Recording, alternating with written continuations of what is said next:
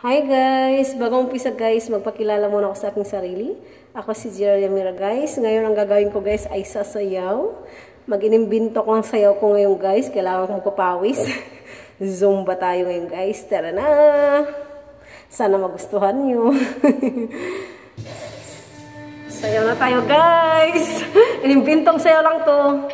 Makamas tayong sasayaw ah.